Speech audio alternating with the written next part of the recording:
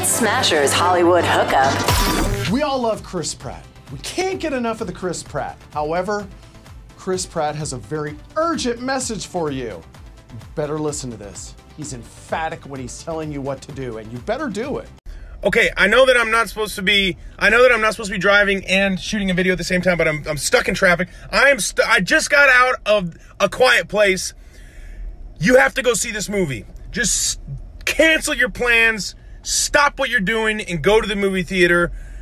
I cannot tell you how freaking dope that movie is. That will scare the crap out of you. It's moving. It's inventive. It's unlike anything you've ever seen. I'm wow. I cannot endorse this movie enough.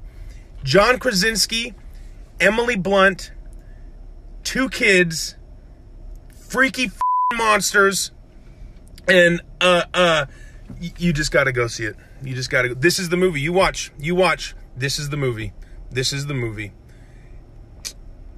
I'm really, really stoked on this movie. I love the movies. Go see A Quiet Place.